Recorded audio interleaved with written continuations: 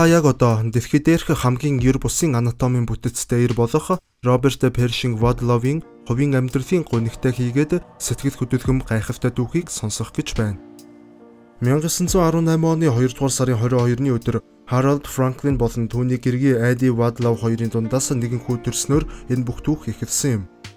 Анх хүүхэд төрөхөд ямар ч хүндрэлгүй төрсэн бөгөөд ив ирүүл энгийн хэмжээтэй хүү гарсныг Роберт Першинг Вадлов хэмээн нэрлэв. Эхэндээ бүх зүйл хэвэн байсан боловч хүүхэд төрөөд нэг их хугацаа өнгөрөөгүй байтал огцом хурдтайгаар өсөж эхэлсэн байна. Бяцхан Роберт Вадлов нэг насны төрсөн өдрөөрөө гэхэд 91 см өндөртэй болсон байна. Цаг хугацаа өнгөрөх тусам Роберт улам бүр өндөр болсоор байсан юм. Харин 8 насны төрсөн өдрөөрөө гэхэд тэрээр эцгээсээ хэдийний өндөр болж бага ангийн ширээ сандал багтаж эхэлсэн тул тусгаалan сандал ширээ хийлгэнс хүүг сургадаг байлаа. Хүү өсөн өссөөр нэг л мэдхэд өөрийн мэдэх бүх хүмүүсээс өндөр болсон байна.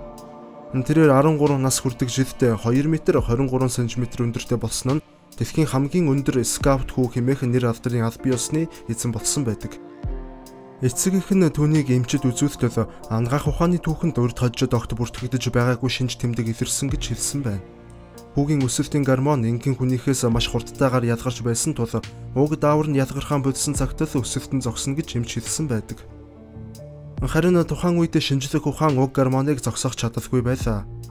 Вадлов хувь хүнийхэн хувьд гэрэл зураг дарах болон гитар тоглох дуртай нэгэн байсан юм. Цаг хугацаатай зэрэгцэн өдөр хоногоор өсгөн хэрээр түүнд нэгэн асуудал тулгарсанд хувцасны асуудал байлаа. Иймд тэрээр арга буюу бүх хувцаанд тусгай захиалгаар хийлэгдэг болсон байна. Бусдаас өөр болохоор их хвчлэн тэрээр бүрэг ичимхий ер нь дуугу талтай хүүхэд байдаг байсан тул олны дунд соёлтой үлэмж биетэн химэх очорон алдаршсан байдаг. Харин ахлах сургуулаанд төгссөний дараагаар тэрээр Ringling Brothers хэмээх явуулын циркэд гишүүнээр эзсэж нэгдсэн улс даяар аялан тоглолт хийдэг болжээ. Энэ нь түүний хувь хүний байр суурь нэр хүндэд тун тустай алхам болсон гэх. Залуу хүүг Америкчууд хэдхэн сарын дотор бүгд таньдаг болж жинхэнэ утгаараа од бодж эхлэв. Үүний нэгэн жишээ нь түүний гутлыг Америк нэгдсэн улсын томоохон гутлын компаниуд үн төлбөргүй хийж өгөх саналыг уралдан тавьж эхэлсэн байна.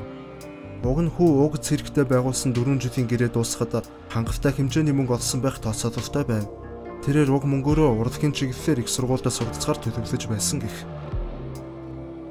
1937 он гэхэд тэрээр 2 м 71 см-т хүрч аль биесоор дэлхийн хамгийн өндөр хүнээр бүртгэгдэв. Сонирхуулаад хэлэхэд өмнөх рекорд эзэмшигчийг Джон Роган гэдэг байсан бөгөөд тэрээр аль биесаар масоны нийгэмдхийн гишүүн байсныг Америкчууд өнөөдөр нэгэнт мэддэг болжээ.